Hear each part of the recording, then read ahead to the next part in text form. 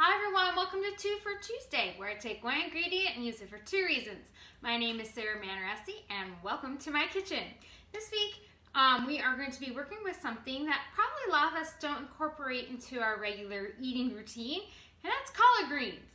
And I think the reason for that is, is because we think of collard greens kind of like the same thing as like dandelion greens or something that's super bitter and um, which is great if you're at, looking for that kind of flavor, but most of us, at least for me, I don't particularly like bitter. But collard greens really, especially when they're in season, aren't bitter at all. They're actually a really nice vehicle and can be substituted for so many different things.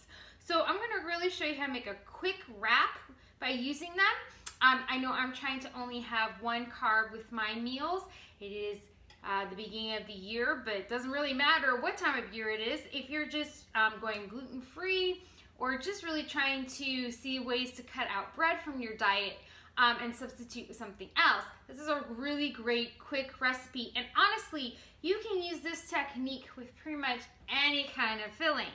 Um, I've made tuna salad with it where I take a can of tuna fish, add in a teaspoon of mayonnaise, a little bit of salt, a little bit of pepper. You really don't need much. Um, celery, carrots, um, a little bit of sprouts for some crunch, and I might even sometimes um, add in cucumber maybe a little bit of extra lettuce.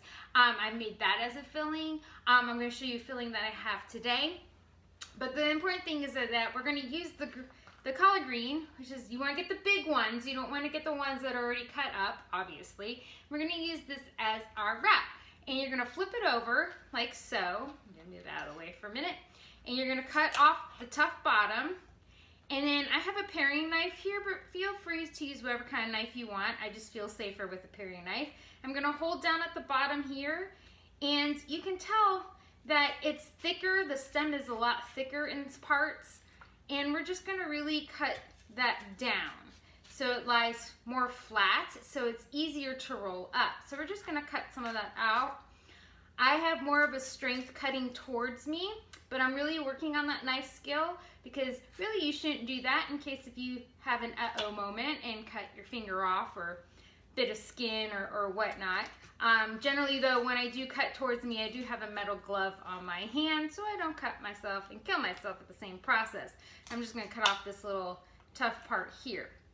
And it's super easy. I have, I'm gonna put that to the side, I have about half a cup of brown rice and I have a turkey burger here. Now, like I said, you can do whatever filling you want. So if you have a veggie burger, um, any kind of chicken, turkey, this is gonna work great with any of those. I'm just gonna cut it up into bite-sized pieces, maybe. Um, I did this on the panini press, so it only took about five minutes to cook all the way through. You want it to have an internal temperature of 165 degrees just to uh, be on the safe side. Um, you want to cook it shorter or longer than that, that's up to you. That's just the recommended thing. Um, and I just love making them. You can also make them in the microwave.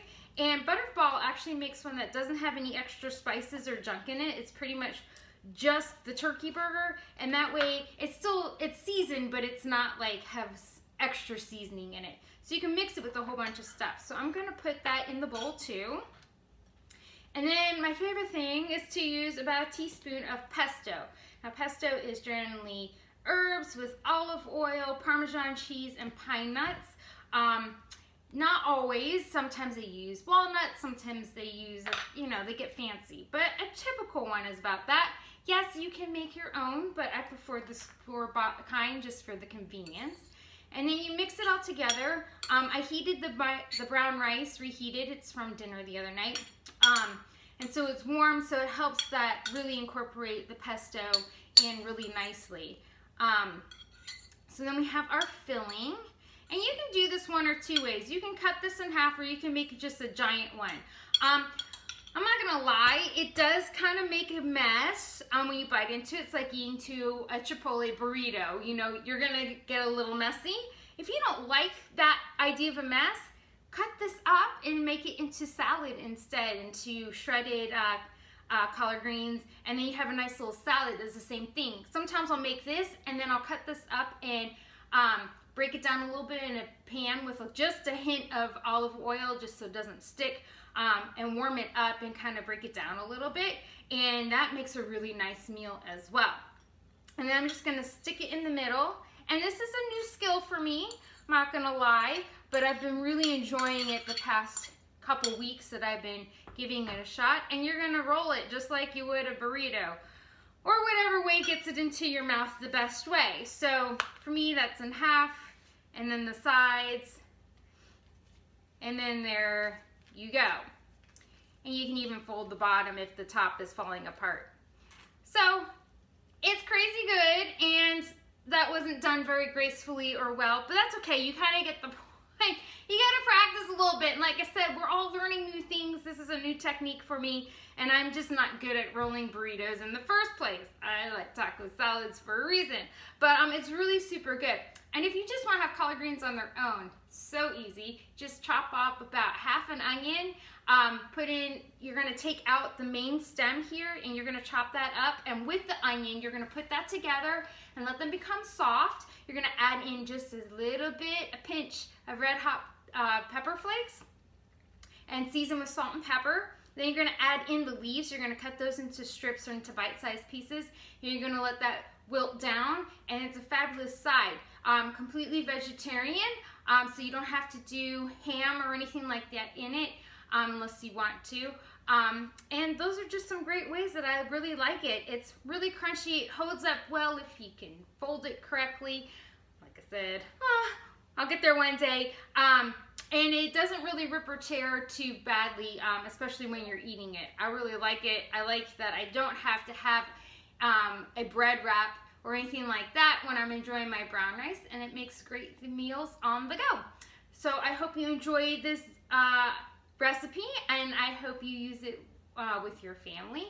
Um, like I said, all you really need is just a couple of ingredients, throw it in together, make a salad and put it in the middle, and it's a great snack or a great meal in itself. I hope you're having a great day, and I'll talk to you later. Bye!